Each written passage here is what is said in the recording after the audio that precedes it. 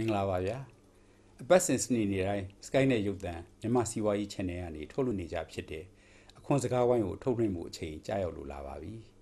အဲ့တော့ဒီတစ်ဖက်မှာတော့ကျွန်တော်တို့ကခါတိုင်းနဲ့မတူဘဲနဲ့ကျွန်တော်တို့ဟိုထူးခြားခြားအစီအစဉ်လေးတစ်ရက်ကိုဆောင်ရွက်မှာဖြစ်ပါတယ်အဲ့ဒါဘာဖြစ်လို့လဲလို့ဆိုတော့ဒီတစ်ပတ်ဆွေးနွေးကြမယ်စကားဝိုင်းဖွဲ့ကြမယ်အကြောင်းရင်းကတော့ဒီစီကောင်းဝန်ဆိုင်ရာအတိမတ်ဖွဲ့ရများမို့လို့ခါတိုင်းကတော့အခွန်တန်းနဲ့ဒါခွန်မှုနဲ့ကျွန်တော်နဲ့ စကားဝိုင်းဖွဲ့ခဲ့ကြတာမှာဒီတစ်ပတ်မှာတော့ကျွန်တော်တို့ခွန်မှုတွေနဲ့ကြီးပဲဒါအရာတန်းနေနဲ့ဖိတ်ကြားထားပြီးတော့ကျွန်တော်တို့စကားဝိုင်းဖွဲ့ဖို့လို့စီစဉ်ထားတာဖြစ်ပါတယ်အဲ့တော့ Asian တစ်ဆက်သူဖြစ်ကတော့ကျွန်တော်ဥထင်လင်းကျော်ကဆောင်ရွက်မှာဖြစ်ပါတယ်အဲ့တော့အခုဆိုလို့ရှိရင်စတူဒီယိုခန်းမတွေကိုရောက်ရှိနေတာကတော့ဒါပြည်တွင်းခွင့်များဦးစီးဌာနစီမံရေးရဌာနခွဲတူလောင်ဖြန့်ဖြူးရေးရန်ကုန်ရုံးခွဲတာဝန်ခံဖြစ်တဲ့ဒုတိယညွှန်ကြားရေးမှူးဦးဟန်လင်းနဲ့ ဒါဟိုဘက်ကတော့ပြည်တွင်းခွင့်များဦးစီးဌာနလမ်းမတော်မြို့နယ်အခွန်ဦးစီးဌာနမှူးလက်ထောက်ညွှန်ကြားရေးမှူးဦးဆန်းမြင့်ဦးတို့ဒါစတူဒီယိုတွေကိုရောက်ရှိနေကြတာဖြစ်ပါတယ်အဲ့တော့မင်္ဂလာပါဗျမင်္ဂလာပါမင်္ဂလာပါအဲ့တော့ဟိုကျွန်တော်တို့ဒီနေ့ကဟိုဒဇေကောင်းဝန်ဆိုင်ရာအတိမတ်ဖွယ်ရများကိုကျွန်တော်တို့ဟိုအများပြည်သူလည်းသိဖို့လို့ဆိုပြီးတော့ဟိုဆွေးနွေးကြမယ်ပေါ့နော်အဲ့တော့ဆွေးနွေးကြမယ်ဆိုတဲ့အခါကျကျွန်တော်တို့ကဒါပထမဆုံးသိကျင်တာကတော့ကျွန်တော်တို့ပြည်တော်စုသမ္မတမြန်မာနိုင်ငံတော်မှာဟိုဒဇေကောင်းနဲ့ပတ်သက်တဲ့ဥပဒေလေး ဘယ်နည်းအမြင်ပြဋ္ဌာန်းထားလဲပေါ့အဲ့ဒါဘယ်တော့မှပြဋ္ဌာန်းတာလဲဆိုတာလေးကိုပထမဆုံးစပြီးတော့ဟိုဦးဆန်းမြင့်ဦးကပဲဆွေးနွေးပြပါအောင်ဗျဟုတ်ဟုတ်ကဲ့ကျွန်တော်တို့ဒီမြန်မာနိုင်ငံကိုကျွန်တော်တို့အင်္ဂလိပ်က၃ချိန်မြောက်ကျွန်တော်တို့ကျူးကျော်စစ်ဆင်နွှဲပြီးတော့မှတိတ်ပိုက်ခဲ့တယ်ပဲပြောပါတော့ဗျာဟုတ်ကဲ့အဲ့တော့ပထမဆုံးအချိန်တွေက1824ခုနှစ်တုန်းကပထမအချိန်ကျွန်တော်တို့ကျူးကျော်စစ်လုပ်တဲ့အခါမှာကျွန်တော်တို့အရှုံးပေးခဲ့ရတယ်ဟုတ်ကဲ့အဲ့တော့ဒီ အောက်မှာဖြစ်တဲ့ကျွန်တော်တနင်္သာရီနဲ့ရခိုင်ကိုကျွန်တော်တို့ကလက်လွတ်ဆုံးရှုံးခဲ့ရပါတယ်အော်ဟုတ်ပါပြီနော်ဟုတ်ကဲ့နောက်ပြီးတော့1852ခုနှစ်မှာကျတော့ဒုတိယအကြိမ်ကျွန်တော်တို့ကရင်ဆိုင်ရတဲ့ခါမှာကျွန်တော်တို့ကထပ်မံကျွန်တော်တို့ကရှုံနေခဲ့ရတယ်ဟုတ်ကဲ့အဲ့ဒီအချိန်တော့ဟန်တာဝရီနယ်မျိုးကျွန်တော်တို့ပါသွားတာပေါ့ဗျာ။ဩဟုတ်ပြီဟုတ်ပြီဟုတ်ပြီ။အဲအဲ့တော့ဒီလိုရအဲ့ဒါဆိုလို့ရှိရင်တော့ကျွန်တော်ကျွန်တော်သိတာလေးလည်းပြောဦးမယ်ဗျာဟုတ်ကဲ့ပါ။အဲ့တော့ဟန်တာဝရီနေအထိသိနေဆိုပေမဲ့အခုဟို အခုအောင်လံမြို့လို့ခေါ်တာပေါ့လေဟိုအရင်တုန်းကတော့မြေထဲမြို့ပေါ့အဲ့ဒီမြေထဲမြို့ရဲ့မြောက်ဖက်6မိုင်အကွာပေါ့အဲ့ဒီ6မိုင်အကွာမှာနေကြမှတ်တိုင်ရှိတယ်ဟုတ်ကဲ့အဲ့တော့အဲ့ဒီနေကြမှတ်တိုင်ဆိုတော့ခုဟိုကျွန်တော်လေးလေ့လာကြည့်တာပေါ့လေအဲ့တော့မြန်မာနိုင်ငံရဲ့မြေပုံကိုဒီလိုခောက်ချိုးချိုးချလိုက်လို့ထက်ဝက်မြင်းဟာအဲ့ဒီမြေထဲမြို့ရဲ့မြောက်ဖက်6မိုင်အကွာကိုဖြတ်သွားတယ်ဟုတ်ကဲ့အဲ့တော့ဖြတ်သွားတဲ့အခါကျတော့အဲ့တော့အောက်ဖက်ကဒါအင်္ဂလိပ်ပိုင်းနဲ့အဲ့တော့ British colony ဖြစ်သွားတာပေါ့နော်အဲ့တော့အထက်ပိုင်းကတော့ ကျွန်တော်တို့ဟိုအဲ့ဒီအချိန်တုန်းကဆိုလို့ရှိရင်ဟို1850နှစ်ဆိုတော့ပကံမင်းကိုနန်းချပြီးတော့မင်းတို့မင်းနန်းတက်တဲ့အချိန်ပဲဗျာဟုတ်ကဲ့အဲအဲ့တော့အဲ့ဒီအချိန်ပေါ့အမှန်ပါတယ်ဗျာဟုတ်ကဲ့အဲ့တော့ကျွန်တော်တို့ဒီအောက်မြန်မာနိုင်ငံလူပဲပြောကြပါစို့ဗျာဟုတ်ကဲ့သူကအဲ့ဒီကာလမှာပဲကျွန်တော်တစိကောင်းဥပဒေကိုကျွန်တော်တို့ကဆက်လက်ပြီးတော့မှပြဋ္ဌာန်းခဲ့ပါတယ်ဟုတ်အဲ့တော့ဘယ်မှာစယူပြဋ္ဌာန်းခဲ့လဲဆိုတော့1880ခုနှစ်မှာ ဒီရုံးပေါ်တစိကောင်းဆိုပြီးမှအဲ့ဥပဒေနဲ့ကျွန်တော်စပြဋ္ဌာန်းခဲ့ပါတယ်ဩအဲ့ပြဋ္ဌာန်းတဲ့အခါကျတော့အိန္ဒိယအဲ့ဥပဒေအမှတ်ခွန်ဆိုတဲ့ဟာလေးကျွန်တော်တို့ကစတင်ပြီးတော့မှတက်ရောက်ခဲ့ပါတယ်ဟုတ်ကဲ့နောက်တစ်ခါကျတော့1899ခုနှစ်ဟောအဲအဲ့ချိန်မှာတော့ကျွန်တော်တို့မြန်မာနိုင်ငံအခုအခွန်နှိပ်ပေါ့ဟုတ်ကဲ့အဲ့တော့မြန်မာနိုင်ငံတစီကောင်းအဲ့ဘူရီဆိုပြီးကျွန်တော်ပြတ်ထမ်းပါတယ်ဟုတ်ကဲ့အဲ့ခါကျတော့အိန္ဒိယအဲ့ဘူရီအမှတ်နှစ်နဲ့ကျွန်တော်တို့ကအအကျိုးတက်ရောက်စေတယ်ပေါ့ဗျာဩဟုတ်ပါဟုတ်ပြီကဲ့ဟုတ်ကဲ့ ဩအဲ့ဒါဆိုရင်ဟိုရုံးကုန်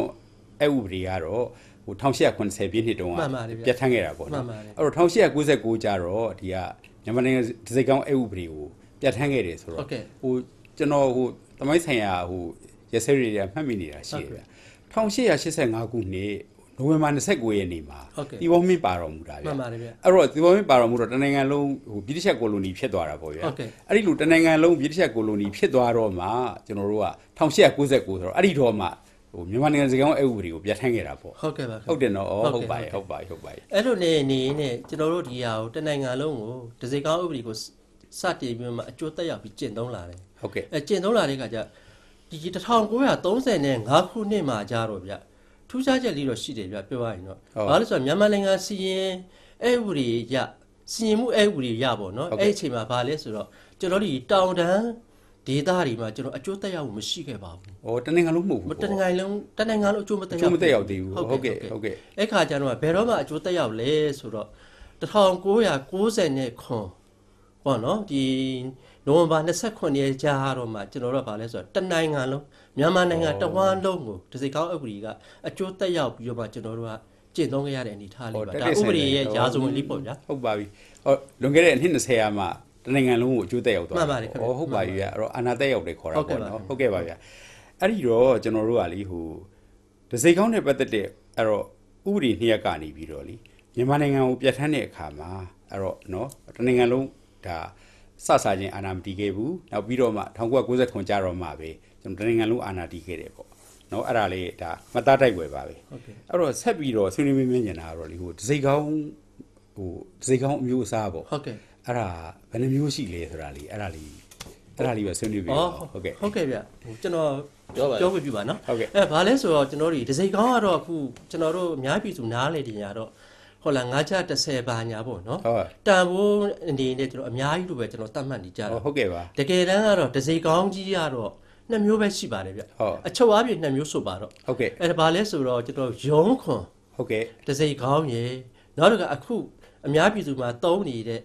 တစိတ်ခွန်ပေါ့နော်ဟုတ်ဒီဒီမြန်မာနိုင်ငံတစိတ်ကောင်းဆိုတော့တစိတ်ကောင်းဆိုတဲ့နှစ်မျိုးပဲရှိပါတယ်ဩအဲ့ခါကျတော့ဟုတ်ကဲ့ကျွန်တော်ဟိုအချင်းချင်းပြောရရင်တော့ တရားယုံသောတစိတ်ကောင်းနဲ့တရားယုံသောမဟုတ်သောတစိတ်ကောင်းဆိုပြီးတော့မှအဲ့လိုခွဲခြားလိုက်မယ်ဆိုရင်တော့ရှင်းရှင်းလင်းလင်းသဘောပေါက်နိုင်ပါတယ်ခင်ဗျာဩဟုတ်ပြီဟုတ်အဲအဲ့ဒါဆိုလို့ရှိရင်ဒါဟိုပါပေါ့နော်နှစ်မျိုးပဲရှိတာပေါ့ဟုတ်ကဲ့အဲ့တော့ဟိုအဓိကအချုပ်အားဖြင့်ကတော့နှစ်မျိုးအချုပ်အားပဲဖြင့်နှစ်မျိုးတရားရုံးသုံးရေတရားရုံးသုံးတရားရုံးမဟုတ်တဲ့ဟုတ်စိတ်ကောင်းရေအဲ့တော့တရားရုံးသုံးဆိုတဲ့ခါတရားရုံးမှာဘာညာဟိုဟိုအမှုခင်းပါညာတွေရင်ဆိုင်တဲ့အခါတွေမှာလည်းသုံးတယ်ပေါ့ဟုတ်ကဲ့အဲ့ဒါလည်းကျွန်တော်ကဟိုလေကျွန်တော်အတွေ့အကြုံလေးပြောမယ်ဗျအဲ့ဒီဟို ရုံးဟွန်ကတ်တစ်စိတ်ကောင်းဆိုတာလေးတွေကျွန်တော်တို့ရှိတယ်ဗျကျွန်တော်တို့ဟိုအဲ့လိုပေါ့နော်ရုံးတရုံးမှာကျွန်တော်လျှောက်လာတစ်ခုတင်တဲ့အခါကျတော့သူကဟိုမျိုးနယ်အဆင်ရုံးဆိုတော့လေ90တန်ရုံးဟွန်ကတ်တစ်စိတ်ကောင်းလေးကတ်ရတယ်ဗျဟုတ်ကဲ့အဲ့တော့သူကဟိုလိုတရားတစ်ပုံဖြစ်မှရင်မဟုတ်ဘူးအဲ့ဒီလိုစာယူဟိုဒီဟိုပေါ့နော်စာယူဆန္ဒလည်းမဟုတ်ဘူးဟုတ်ကဲ့ဟိုဒီလျှောက်လာတို့ဘာတို့မှာအဲ့ဒါလေးတွေကတ်ထားပဲကျွန်တော်ကိုယ်တိုင်ကတ်ခဲ့ရဘူးလေအဲ့ဒါဟုတ်လားဗျအာဟုတ်ပါတယ်ခင်ဗျာအေးဒါကဘာလဲဆိုဟုတ်တော့ပြီကျွန်တော်အများပြည်သူဆိုင်ရာယုံနေမှာ တရားယုံအပါအဝင်ဟုတ်အများပြည်သူဆိုင်ရာယုံနေမှာကျွန်တော်ရှောက်လာလုပ်မယ်ရက်ချင်းလုပ်မယ်စသဖြင့်ပေါ့နော်အကျိုးဆောင်ရွက်မှုမှတ်တမ်းတွေလုပ်တဲ့အခါမှာကန်တူးရှောက်လာတင်တဲ့အခါမှာကျွန်တော်ဒီအနေနဲ့ကကျွန်တော်တို့စစရင်အသက်ဝင်မှုအတွက်90တန်းဒါကတော့မျိုးနယ်အဆင့်ခုနပြောတဲ့ခရိုင်မျိုးနယ်ဆိုရင်တရား စသဖြင့်ပေါ့နော်အဲ့လိုလေးခွဲခြားပြီးတော့သူ့ရဲ့မျိုးနယ်အဆင့်မှာတော့သတ်မှတ်ထားတဲ့နှုတ်ထားလေးဖြစ်ပါတယ်ဟုတ်ပါပြီဗျဟုတ်တယ်ဟုတ်ကျေးဇူးတင်တယ်အဲ့တော့ဟိုဟိုတရားရုံးသုံးဟုတ်တဲ့စိတ်ကောင်းကတော့ကျွန်တော်တို့ဟိုအရက်ပြောပြောနဲ့ရက်ွက်ထဲသုံးတဲ့စိတ်ကောင်းနေပေါ့ဥမာဥမာလေးဟိုကျွန်တော်မှားရင်လည်းပြင်ပါဟိုဆိုတဲ့ခါကျတော့ဟိုအိမ်ငားတဲ့အခါမှာစာရွက်ချုပ်တယ်ဆိုရင်အဲ့ဒီစိတ်ကောင်းမျိုးခွန်စိတ်ကောင်းပေါ့နော်ဟုတ်ကဲ့အဲနောက်ပြီးတော့ဗာလေဟို အိမ်ချမ်းကြီးတွေဟုတ်ကဲ့ရောင်းနေဝယ်တွေဆိုတဲ့နေရာတွေမှာဟုတ်ကဲ့အဲအဲ့တော့အသုံးလက်စိတ်မျိုးအခွန်စိတ်ကောင်းလို့ခေါ်တယ်ဟိုကဟုတ်ကဲ့ဟိုကရုံးကွန်ပေါ့ဟုနော်တ်ကဲ့အဲ့ဒီတော့ကျွန်တော်တို့ကဒီဒီစိတ်ကောင်းတွေကိုဟုတ်ကဲ့နေပြည်တော်ကဘုသူတုံလောင်ကြီးရှိတယ်ဒါမှမဟုတ်ဟိုရန်ကုန်ရုံးခွဲပေါ့ဟုတ်ကဲ့ဒါကြောင့်မလို့တုံလောင်ဖြန့်ပြီးရန်ကုန်ရုံးခွဲဆိုတာတုံးတာကိုမှန်ပါရန်ကုန်မှာလည်းဒါတုံလောင်ဖြန့်ပြီးရန်ကုန်ရုံးခွဲရှိတယ်မှန်ပါအဲ့တော့အဲ့ဒီကနေပြီးတော့ကျွန်တော်တို့ဒါဒီစိတ်ကောင်းတွေကိုဟိုဖြန့်ပြီးပြီဆိုလို့ရှိရင် တုံလောင်ရုံးကတော့ပြည်သူလူထုရဲ့လက်ထဲကိုဓာတ်ရိုက်ဖြန့်ပြီးမယ်လို့မထင်ဘူးကြအဲ့တော့ဘယ်လိုများဖြန့်ပြီးလဲဆိုတာလေးပါအဲ့ဒါလေးပါပြောပြပါအောင်ဗျာကျွန်တော်တို့ကမြို့နယ်ရုံးနေရဲ့ကျွန်တော်တို့လိုအပ်ချက်ရှိတဲ့ဒဇေကောင်းတွေကိုကျွန်တော်တို့ကဒါ3လတစ်ကြိမ်ပေါ့နော်ဟုတ်3လတစ်ကြိမ်ကျွန်တော်တို့တုံလောင်ရုံကနေပြီးတော့ဒါအောက်မြန်မာပြည်အတွက်ဆိုရင်တော့ရန်ကုန်တုံလောင်ရုံရုံးခွဲကနေပြီးတော့ကျွန်တော်တို့ဒါဖြန့်ဖြူးပေးပါတယ်ဗျဟုတ်အဲ့တော့အထက်မြန်မာပြည်မြို့နယ်တွေအတွက်ဆိုရင်တော့ကျွန်တော်တို့ဒါနေပြီးတော့တုံလောင်ရုံကနေပြီးတော့ဖြန့်ဖြူးပေးပါတယ်ဗျဟုတ်ကဲ့အဲ့တော့ကျွန်တော်တို့ကအခုရန်ကုန်မှာလေ ဟို36လမ်းမှာလေဈေးကောင်းရောက်တဲ့နေရာတစ်ခုရှိတယ်ဗျဟုတ်ကဲ့ပါအဲ့ဆရာအဲ့ဒါကတော့လေဟိုမြို့နယ်ခုံဦးစီးဌာနမူယုံမဟုတ်ဘူးဗျအဲ့အဲ့ဒီနေရာမှာဈေးကောင်းရောက်ချတာလေးနဲ့ပတ်သက်လို့လေအဲ့ဒါလေးပြောပြပါဦးဗျဒါကဗျဒီဒဇေကောင်းလိုအပ်ချက်ရှိတဲ့လူတွေကိုကျွန်တော်တို့ကဒါမြို့နယ်အသီးသီးမှာ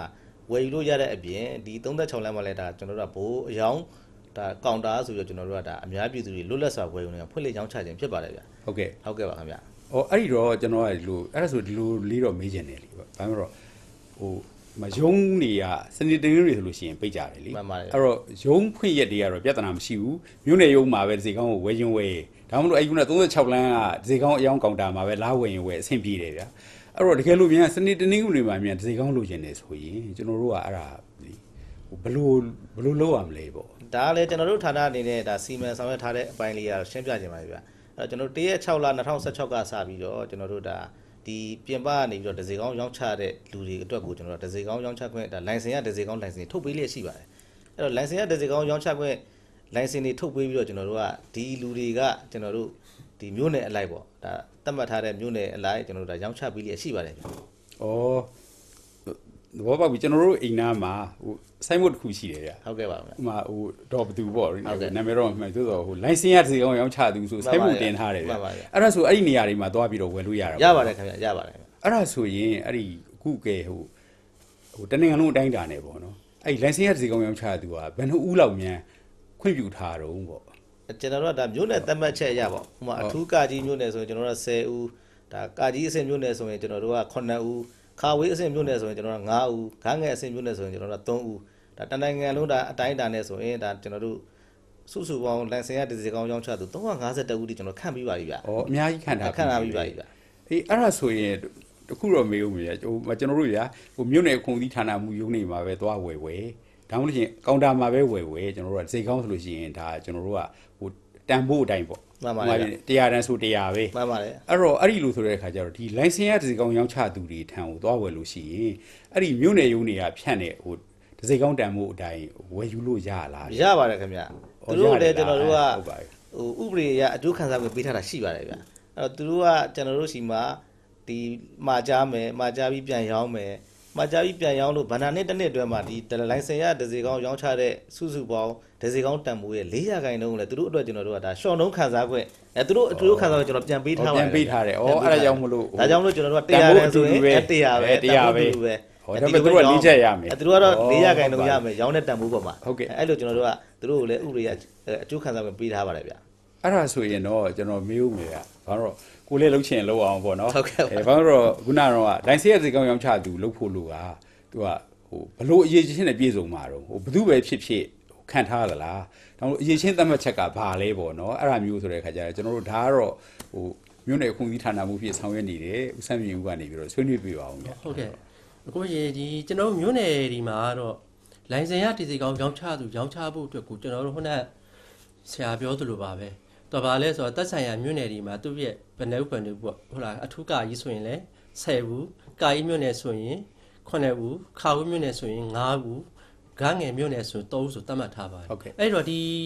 တတ်မှတ်ထားတဲ့ဟာကိုကျွန်တော်တို့ကဘာဖြစ်လဲဆိုတော့ရောင်းချလို့တယ်ဆိုကျွန်တော်တို့ဒီမြို့နယ်ရောတစ်ဆင့်ကျွန်တော်ရှောက်ထားပါတယ်ဟိုရှောက်ထားရမယ်ရှောက်ထားတဲ့ခါမှာလိုင်စင်ရတည်စီကောင်ရောင်းချဖို့ရှောက်ထားတဲ့လူကဘာအရေးချင်းနေရှိဖို့လဲဆိုတော့ နံပါတ်1ကတော့သူအခြေခံပညာအထက်တန်းအောင်မြင်ပြီးသားဖြစ်ရဩပါဟုတ်မယ်ဟုတ်ဘွဲရဖို့မလိုဘူးရတယ်ဆယ်ရောင်းဝင်ရတယ်အဲနော်ဟုတ်ကဲ့ဆယ်လောက်နဲ့ဆယ်လောက်ရတယ်ပေါ့ရပါပြီဟုတ်ကဲ့ဒုတိယအချက်ကဘာလို့သူဒီ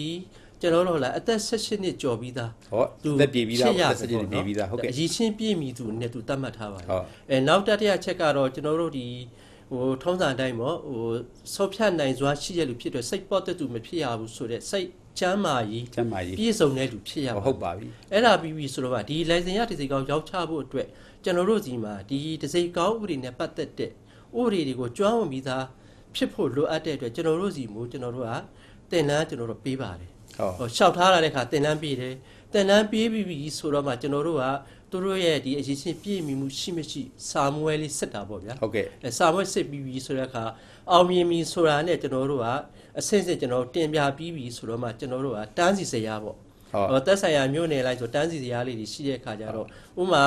ဟို9ဦးပဲရှိတဲ့မြို့နယ်မှာ9ဦးပဲရှိတယ်ဆိုရင်တော့သူ့ပါဆိုတော့ပြည့်စုံသွားတာပေါ့ ဟုတ်ကဲ့ เนาะအကယ်၍များ9ဦးရှိတယ်ခန့်မှာတော့ထားရှိရမှာ9ဦးပဲဆိုရင်တော့ ကျွန်တော်ဗာလဲဆိုတော့သူတန်းစီစရာလေးနဲ့အမှတ်အနည်းများလိုက်တန်းစီစရာလေးကိုဟိုတီးတာ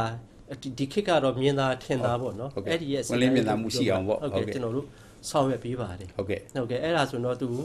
ဟိုရောက်ချလိုင်စင်ဝင်ရပြီသူ့ကိုကျွန်တော်လိုင်စင်မှချပြီးပြီးတော့မှသူ့ကိုရောက်ချဖို့အတွက်ကျွန်တော်တို့ကသူမှားချတဲ့ဟာလေးကိုကျွန်တော်တို့ကတစ်ဆင့်ဟောလာပြော36လမ်းကိုကျွန်တော်တို့ကထုတ်ယူပြီးတော့တစ်ဆင့်ပြန်လဲဖြန့်ဖြူးပြရတာဖြစ်ဟုတ်ပါပြီအဲ့ဒီတော့ဟို အဲ့လိုတန်းစီစရာနဲ့တန်းစီထားပြီဆိုလို့ရှိရင်အဲ့တော့ဟိုဟိုမှာခုနပြောတဲ့9ယောက်အောင်နေဟုတ်ကဲ့9ယောက်ကိုခန့်လိုက်တယ်ဆိုတဲ့အခါကျတော့ရှေ့က9ယောက်ထဲကတယောက်ကဟိုပြည့်ရင်းသွားမှာဟုပေါ့တ်ကဲ့နော်အဲအဲ့ဒါမှနောက်တစ်ယောက်ကသူသူ့နေရာကိုဝင်နိုင်မှာဟုပေါ့တ်ပါကျွန်တော်အဲ့လိုနားလဲတယ်ဟုတ်ပါတယ်နော်ဟုတ်ပါအဲ့တော့ဆိုတော့ဟိုအရေးချင်းတွေတွေကပေါ့နော်ဘလို့အရေးချင်းတွေမြန်ပြတ်သွားမယ်ဆိုလို့ရှိရင်ဒါသူ့ကိုဒါဟိုသူ့လိုင်စင်ပြန်သိမ်းတာတို့ဟိုအဲ့အဲ့အဲ့သဘောမျိုးပေါ့ဟုတ်နော်ကဲ့အဲ့လိုမျိုးဟိုသူ့ကိုရုပ်သိမ်းလိုက်တာတို့ဒီ အဲ့ဒါတွေမြန်ဟိုဟိုဘလို့အခြေအနေမျိုးကြာမှလောက်ပါတယ်လေဆိုတော့အဲ့ဒါလေးလေးပြောပြပေးပါဦးဟုတ်ကဲ့ဘယ်လိုအခြေအနေမျိုးလောက်ရတယ်ဆိုခုနကဒီဆရာပြောသလိုပဲကျွန်တော်တို့ကပါလဲဆိုတော့ဒီဒစိကောင်းကိုအမှန်တကယ်သုံးဆွဲသုံးဆွဲတဲ့လူရဲ့လက်ထက်ကိုရောက်ရှိစေချင်တာပါဟောဟုတ်ကဲ့အဲ့လိုဖြစ်တဲ့အတွက်အမှန်တကယ်သုံးဆွဲတဲ့လူရဲ့လက်ထက်ကိုရောက်ရှိစေခြင်းတဲ့အတွက်ဝယ်ယူရတဲ့အခါမှာလည်းလွတ်လပ်စွာနဲ့ဝယ်ယူဖို့အတွက်ကိုလည်းပြီးတဲ့အတွက်သူသည်အပြင်မှာ ကျွန်တော်တို့ခုနကပြောအခုတော့ဖြစ်နေကြတာပေါ့နော်အပြင်ဒီတန်ဖိုးထက်အများကြီးဝယ်နေရတယ်ပြီးတယ်ဆိုတော့စကားတွေလည်းကြုံတွေ့နေရပါဟုတ်တကဲ့ယ်သူကအဲ့ဒီအနေထားမျိုးကိုလည်းကျွန်တော်တို့မကြုံတွေ့ရအောင်အဲ့တော့ကျွန်တော်တို့မြို့နယ်ရုံးဒီမှာလည်းယာရုလျောက်ဒီစိကောင်းရောင်းချတဲ့လူကကျွန်တော်တာဝန်ပေးထားသလိုလိုင်စင်ရဒီစိကောင်းရောင်းချလူကလည်းအခုလိုပဲဖြန့်ကျူးရတာပါလဲဆိုတော့ဒီစိကောင်းရဲ့တန်ဖိုးမူရင်းအတိုင်းတုံးဆွဲသူရဲ့လက်ထဲကို ရောက်ရှိအောင်လို့ကျွန်တော်စီစဉ်ပေးထားတာဖြစ်ပါတယ်။ဟောလာဒီအကိုကြီးပြောသလိုပေါ့သူကဘယ်လိုပြန်ရွတ်မှုရှိလဲဆိုတော့ကျွန်တော်ဒီစိကောင်းရှော့နှုတ်400ခိုင်နှုန်းလည်းသူ့ပေးထားတယ်ဟုတ်တန်ဖိုးမြင့်ပြီးရောင်းတယ်ဆိုရင်သူဒီလိုင်စင်ကျွန်တော်ရောင်းချဖို့အတွက်တတ်မှတ်တဲ့စီကံကိုသူပြန်ရွန်းတာဖြစ်ပါတယ်ဟောဟုတ်ပါပြီနောက်တစ်ခုကလည်းဗာလဲဆိုတော့အမှန်တကယ်လုံလောက်စွာရောင်းချရမယ့်အတိုင်းတောင်မရောင်းချပဲနဲ့သူကမတမာသောနီလန်းများနဲ့ဆောင်ရွက်တာကိုသတင်းကြားသိရရင်လည်းကျွန်တော်တို့ကစစ်စစ်ပြီးတော့မှသူ့ကိုလိုင်စင်ကနေပြီးတော့မှ ဖြုတ်သိရခြင်းဖြစ်ပါတယ်ဟောဟုတ်ပါပြီအဲ့ဒီတော့သူ့ရဲ့ဒီ license တက်တန်းရှိလားရ။အော်ရှိပါတယ်ရှိပါဟုတ်ကဲ့ဟုတ်ကဲ့လက်စင်တက်တန်းကတော့ကျွန်တော်နှစ်နှစ်ပေါ့နှစ်နှစ်နှစ်နှစ်ဟောလက်စတန်းနှစ်နှစ်နှစ်နှစ်ပါဟောဟုတ်ပါပြီအဲ့လက်စတန်းနှစ်နှစ်ဆိုတော့ဒီနှစ်နှစ်အတွင်းမှာစီကံလိုက်တာလိုက်တာပေါ့ဟုတ်ပါပြီအဲ့ဒီတော့ကျွန်တော်ကကျွန်တော်ဒီစီကုန်းတစ်ခါသွားဝယ်တော့လေသူကဟိုမှတ်ပုံနေပြပါတယ်ကျွန်တော်လည်းမှတ်ပုံနေပြလိုက်တာပေါ့နော်အဲ့တော့ तू ကဟို ချက်ချင်းမရဘူးရရောခဏစောင့်နေရတယ်ဟုတ်ကဲ့ခဏစောင့်နေရတော့ကိုလည်းနည်းနည်းတော့စိတ်ညစ်ညူတာပေါ့ရောကျွန်တော်တို့ထင်တယ်ကတရားတော့ရော့တရားပြီးစိတ်ကောင်းဆိုတော့အဲ့အဲ့လိုအဲ့လိုထင်တာပေါ့နော်ခဏစောင့်ရသေးတယ်ဗျမှတ်ပုံနေလေးပြီးပြီးတော့ဒါကတော့အဲ့ဒီတော့လိုရှိပါတယ်ဗျဟုတ်ကဲ့အခုဒါအခွန်နှိပ်ဒါတန်မိုးနဲ့တစ်စိကောင်းတွေပေါ့နော်ဟုတ်ဒါကျွန်တော်တို့ဒါ100တန်ကနေပြီးတော့အခုဒါလက်ရှိ1000တန်အထိပေါ့ဟောဒီအခွန်နှိပ်တစ်စိကောင်းတွေဝယ်မယ်ဆိုရင်ကျွန်တော်တို့ကဒီဝယ်ယူသူရဲ့ဒါအချက်လက်တွေကိုကျွန်တော်တစ်စိကောင်းရဲ့နောက်ကျောမှာဒါကျွန်တော်ဖြည့်သွင်းရပါတယ်ဗျဟောဟိုမှာဝယ်ယူသူအမ အမီဒါဒီဒီစကောင်းကိုဝယ်တဲ့အခါကျတော့ကျွန်တော်ဒီမှာအမှတ်စင်နဲ့ကျွန်တော်တို့မှတ်ပေးထားရတယ်ဩဒီစကောင်းအမှတ်စင်ဟုတ်ဒါဝယ်သူရဲ့အမီဟုတ်ဒါဝယ်သူရဲ့အဖအမီပေါ့နော်ဟုတ်ကဲ့ဒါဝယ်သူလိပ်စာဟုတ်ပြီးရတယ်ဒီဒီစကောင်းရောင်းချသူကအဲ့နောက်ကျောမှာဒီဒီစကောင်းကိုရောင်းချပေးလိုက်တယ်ဆိုတဲ့အကြောင်းကိုဒါ တက်တည်ခံပြီးလက်မှတ်ထိုးပေးရသေးတယ်ဗျဟုတ်အဲ့ဒါဒီအချက်လက်ကလေးတွေလုံနေရတာကိုကြားတာဗျအဲ့ဒါကြောင့်မှတ်ပုံနေလဲတောင်းတာအဲမှတ်ပုံနေလဲတောင်းတာဩဒါဟုတ်ဝယ်ပြီတဲ့လူကဒါတောင်းတာပဲဩအဲ့ဒါဒီကြောင့်အချက်လက်ကလေးတွေသွင်းတဲ့အခါကျတော့ဒါဝယ်ရတဲ့အနေနဲ့ကတော့အဲချက်ချင်းတော့မရဘူးပေါ့ဗျာဒီဟုတ်ကဲ့အချက်လက်သွင်းတာလေးတော့စောင့်ပေးရတာပေါ့။အော်ဟုတ်ပါပြီ။အော်အဲ့ဒါကြောင့်မလို့ကျွန်တော်တို့ကခဏစောင့်ရတာ။ဟုတ်ကဲ့အော်ပါဒါဆိုရင်တော့ရကဲခွင့်လို့ပါဗျာ။ကျွန်တော်ကအဲ့ဒါကိုလေဟိုစိတ်ထဲမှာညင်ညူးမိတယ်။အော်ချက်ချင်းတန်းမရဘူးပေါ့။ဘာဖြစ်လို့ဟုတ်ကဲ့ပါဟိုကိုထင်တာပေါ့နော်။ရော့တရားဆိုပေးတစ်စိတ်ကောင်းလို့အဲ့လိုလုံးလိုက်ချင်တာဟုတ်ကဲ့။အော်အဲ့ဒါကြောင့်မလို့ဂျာနေတာကိုဟုတ်ကဲ့ပါဗျာဟုတ်အဲ့တော့ဟို နောက်တစ်ခုကရှိသေးတယ်ဗျာ။ဟိုတစ်စိတ်ကောင်းအမှတ်စင်ဆိုတာပါလာတော့လေ။ဟိုဟိုကျွန်တော်တို့သိထားတာပေါ့။နှစ်လို့ပြောလို့ရှိရင် तू ကနှစ်မျိုးလို့အနည်းဆုံးနှစ်မျိုးရှိတယ်ဗျာ။ဟုတ်ကဲ့ပြက်ကလေးနှစ်ကဲ तू ကဟိုကျွန်တော်တို့ဘာနာနှစ်ကဲဆိုရှိတယ်ဟုတ်ကဲ့ပါအဲ့တော့ရှိတဲ့ခါကျတော့ကျွန်တော်တို့ကအဲ့ဒီအမှတ်စဉ်ကပြက်ကလေးနှစ်ကိုယူပါဟောပြက်ကလေးနှစ်နဲ့ပြက်ကလေးဟောပြက်ကလေးနှစ်နဲ့ပြီးတာဟုတ်ကဲ့ပါဟုတ်ကဲ့ပါကဲအဲ့ဒါဆိုလို့ရှိရင်တော့ကျွန်တော်တို့ကဒီဟိုပါပေါ့နော်ဒီဟိုဟိုဒီစီကောင်းဝယ်တဲ့အခါမှာဒီနောက်ကျောင်းတိုင်းလို့အကွက်ကလေးထဲမှာဟို မှန်ပါဖြည့်ပြီးတော့ပေးလိုက်တာပေါ့ဟုတ်ကဲ့အဲ့တော့ဒါကဟောပေါ့တန်ဖိုးဟိုနဲနဲတန်ဖိုးကြီးကြီးကြီးပေါ့ကြီးအဲအဲ့ဒါမျိုးဟုတ်ပါဒါမှလည်း तू ကဟုတ်ဒီနောက်ကျောပါအချက်လက်တွေကိုဟိုမှာဖြည့်သွင်းရောင်းချတဲ့နေရာကဒီနေရာကရောင်းချပေးတယ်ဆိုတော့တက်သိခံနိုင်ပါဩဟုတ်ပါပြီအကြောင်းညင်ကြီးလို့ကျွန်တော်တို့ကဒီတစ်စေကောင်းကိုဘယ်နေရာနေတော့ရောင်းချပေးလိုက်လဲဆိုတာအဲ့ဒီမှာလန်ကြည့်လိုက်ရင်သိတာပါဗျာဩဟုတ်ပြီဟုတ်ကဲ့အဲနောက်ဟို စောက်ကြီးတွေလည်းဖြည့်တာတွေ့တယ်အဲဒါတော့ခုနကအယောင်းမှတ်ပုံတင်ပေါ့ဩအယောင်းမှတ်ပုံတင်ဘယ်သူဝယ်သွားတယ်ဟုတ်ဘာကိစ္စကြောင့်ဝယ်သွားတယ်ဆိုတာကျွန်တော်တို့မှတ်ပုံတင်ထားတဲ့သဘောပါဩအဲ့ဒါဆိုရင်တော့ကျွန်တော်အတန်ဖိုးဘယ်လောက်တန်ဘယ်နှရွက်ဝယ်သွားတယ်အကြောင်းအရာကျွန်တော်သိဟုတ်ကဲ့ပါအဲ့ဒါဆိုရင်တော့ပြောပြဟုတ်ကဲ့အဲ့ပါဒီကျွန်တော်လည်းဝယ်နေတဲ့အချိန်မှာဘီနာအမျိုးသားတစ်ယောက်ကလည်းဝယ်တယ်ဗျဟုတ်ကဲ့ဝယ်တော့အဲ့ဒီအကြောင်းလေးပြောပြအောင်မယ်တော့သူကဘယ်လိုပြောတော့ဝယ်တယ်ဆိုတော့ဟိုအဲ့ဒီစိတ်ကောင်းသူက300တန်အဆောင်20လိုချင်တယ်တဲ့ဆိုတော့ဟုတ်ကဲ့အဲ့ဒါနဲ့ ဩအဲ့ဒါကြောင့်ဟိုဟာဟိုမေးတာဟိုဒါကြောင့်ဟုတ်ကဲ့ပါဘာလို့ခုလဲလို့မေးတာမေးတဲ့ခါကျကျွန်တော်အိမ်အောင်ပြုတ်မလို့တဲ့ဟိုရုံးတယ်လက်မှတ်ထုတ်ဖို့လို့စိတ်ကောင်းလာဝယ်တာပါတဲ့လာဝယ်တာဆိုတော့300တန်အဆောင်20ပေးပါဆိုတော့အဲ့တော့ဟိုဒီစိတ်ကောင်းရောက်တဲ့အရာရှိနဲ့အပြန်လှန်ပြောနေတာကျွန်တော်မှတ်မိတယ်အဲ့ဒါဆိုလို့ရှိရင်အကိုကြီးတဲ့ဟိုနည်းနည်းလောက်တော့စဉ်းစားပါဦးနဲ့အိမ်တော်ပြုမယ်ဆိုလို့ရှိရင်တဲ့ဟိုသူတို့သားကတရွက်သူတို့သမီးကတရွက်ဆိုရင်လုံလောက်တယ်တဲ့အကိုကြီးကလာဝယ်တာအဆောင်20ဆိုတဲ့အခါကြတော့တဲ့အဲ့တော့ဟို 10ရောက်လောက်တပြိုင်နဲ့အိမ်တော်ပြုသူတို့ဖြစ်နေမှာဗောတဲ့အဲ့ဒါဆိုလို့ရှိရင်တော့ဟိုဆိုရင်တော့အကိုကြီးတော့ဒီဥဥပဒေတွေရှိတယ်တဲ့အဲ့ဒါနဲ့သွားပြီးတော့ညှိနေပါဦးမယ်အကိုကြီးရဲ့ဆိုတဲ့အခါကျတော့သူလည်းအဲ့ဒါနဲ့ဟဟုတ်ပါပြီဟုတ်ပါပြီနှစ်ဆောင်ဝဲပြီးသွားတော့ဆိုပြီးတော့အဲ့ဒီကနေပြီးတော့သူလည်းအဲ့ဒီ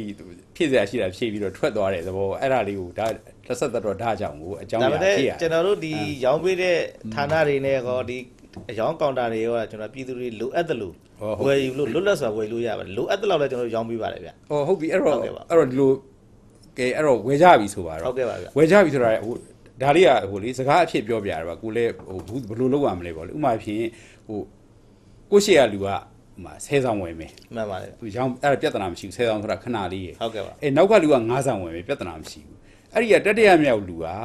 ဟိုမှာအဆောင်200လောက်လိုချင်တယ်မှန်ပါတယ်ဆိုတော့ အဲ့ဒီနောက်မှာလေတန်းစီနေတဲ့လူတွေရှိသေးတယ်ဆိုရင်10ဆောင်တို့9ဆောင်တို့ကတော့ဘာပြဿနာမှမရှိဘူးမြင်းဆန်းပြီးမယ်ဒီအဆောင်200ဆိုလို့ရှိရင်ခုနကကျွန်တော်ကိုပြောသလိုဒီလေးတန်းကွက်ထဲမှာဖြည့်ဖြည့်နေရရင်အဲ့တော့ဟိုနောက်ကလူတွေကအကြာကြီးစောင့်နေရတော့မှာပေါ့အဲ့အဲ့လိုမျိုးများများဝယ်ခြင်းတဲ့လူတွေကြာဘယ်လိုလဲအဲ့လိုအဲ့တိုင်းဒါလာဝယ်တာရှိပါတယ်ဟုတ်ကုမ္ပဏီတွေဒါကျွန်တော်တို့ကုနာအောင်မှဟိုတကယ်ဒါဘန်တွေပေါ့နော်ဒါသူတို့တကယ်လုပ်ငန်းမှာအသုံးပြုဖို့ဒါတစ်စီကောင်းအရွက်ရယာနဲ့ချီပြီးတော့ထောင်နဲ့ချီပြီးတော့လာဝယ်ကြပါတယ် ဒီလိုလူမျိုးတွေအတွက်ဆိုတော့ကျွန်တော်တီးခြားလျှောက်လာလေးနဲ့ဒါကျွန်တော်တို့ဘာလုပ်ငန်းမှာဘာအတွက်သုံးဖို့ဟိုတစ်စီကောင်းဘလောက်တန်ဘယ်နှရက်ပေးပါဆိုရင်ဒါတီးခြားကျွန်တော်တာဝန်ခံကနေပြီးတော့သူတို့ဒါစီစဉ်ပြီးတော့အမြန်ဆုံးရောင်းချပေးပါတယ်ဗျာဩအားချင်းတော့ကျွန်တော်တို့ရချင်မှရမယ်သူတို့တော့တီးခြားစီစဉ်ပြီးတော့အမြန်ဆုံးရောင်းချပေးဟောပါအတမယ်တန်ကောင်းပါတယ်ဟုတ်ကဲ့ပါအဲ့တော့ဟိုဓာတ်လီလေးနည်းနည်းပါးဝယ်တဲ့လူကတော့ချက်ချင်းပေးလိုက်ချက်ချင်းပေးလိုက်နိုင်တာအဲ့လိုများများလို့ရင်းတဲ့လူက6လလေးတင်လာဆောက်ရလေးတင်အဲကျွန်တော်တို့ပေးနိုင်တဲ့ရက်မှာအစင်သစ်ဖြစ်တဲ့ရက်မှာသူ့ကိုကျွန်တော်တို့ကခေါ်ပြီးတော့ပေးလိုက်ပါတယ်ဩ ဖုန်းတွေကလည်းပေါ်တော့မှန်ပါတယ်မှန်ပါတယ်ဗျယူထားလိုက်ပြီးတော့ဟုတ်အကဲ့ကြောင်းပါကြလိုက်သူတို့လာယူလိုက်ဟုတ်ဒါကဲ့ဆိုပါပြီးတော့ရောဟုတ်အကဲ့မပါတန်ကောင်းတဲ့အစီအစဉ်ပါပဲအဲ့ဒီတော့ကျွန်တော်တို့ကဒီအခုဟိုပါပေါ့ဟိုဒီစိတ်ကောင်းတွေဝယ်တော့ကျွန်တော်ဟိုလေးသတိရသေးတယ်ဗျဒီအိမ်ချမ်းမီတွေဟိုဟိုဝယ်တဲ့အခါကျကိုယ်နာမည်ပြောင်းရတော့မှာလို့ရှိရင်ဟိုဒီစိတ်ကောင်းတွေကဟုတ်ကဲ့ဟိုအခုလိုဟို300ရန်နဲ့ချုပ်တာတို့ဘာလို့ညာတော့မဟုတ်တော့မဘူးဟုတ်တော့အဲ့ဒီတော့အဲ့ဒီလိုမျိုးချုပ်တဲ့အခါကြီးကြတော့အဲ့ဒီရဲ့ ဟိုနှုံးသားတွေပေါ့နော်ဟုတ်ကဲ့ပါအဲ့အဲ့ဒါတွေဘယ်လောက်ရှိလဲဆိုတော့အဲ့ဒါလေးပါဆွေးနွေးပြပါဦးခင်ဗျဒီအင်ချန်မြေတွေကတော့ကျွန်တော်တို့ဒါခုနကမှဝယ်ယူတဲ့တန်ဖိုးပေါ်မှာပေါ့ဟုဒီတ်ဒဇေကောင်းကောင်ကကျွန်တော်တို့ဒါဟို200ရာခိုင်နှုန်းကျမှာပေါ့နော်200ရာခိုင်နှုန်းဆိုပြီးလည်းကျွန်တော်တို့ရဲ့ဒီဒဇေကောင်းဥပဒေမှာပြဋ္ဌာန်းချက်အရာကျွန်တော်တို့ဒါအပိုဒဇေကောင်းက200ရာခိုင်နှုန်းထပ်ပါတဲ့အတွက်ကြောင့်စုစုပေါင်း400ရာခိုင်နှုန်းကျမှာပေါ့ဒီ400ရာခိုင်နှုန်းကိုသက်သက်ဆိုင်ရာဒါပစ္စည်းတည်ရှိတဲ့ဒါမြို့နယ်ရုံးကနေပြီးတော့တစ်ဆင့် ဒါဒီဝယ်ထားတဲ့လူအတွက်ဒါအခွန်စစ်ချက်ပြီးလို့အခွန်ကြေသွားပြီးပြီဆိုရင်ဒီဝယ်ယူတဲ့အခွန်မှာအခွန်ရှင်းလင်းပြီးသွားပြီဆိုရင်ပေါ့ဗျာဟောအဲ့တော့ကျွန်တော်တို့ကနေပြီးတော့ပြန်ပြီးတော့သူအားချင်းရောင်းချပေးပါတယ်ဗျဟုတ်ဟုတ်ကဲ့ပါဗျာအဲ့ဒီတော့ဟိုအခုနကလေဟိုဟိုဥဟန်လင်းဆွေးနွေးသွားတဲ့ဥစ္စာမှာဒီ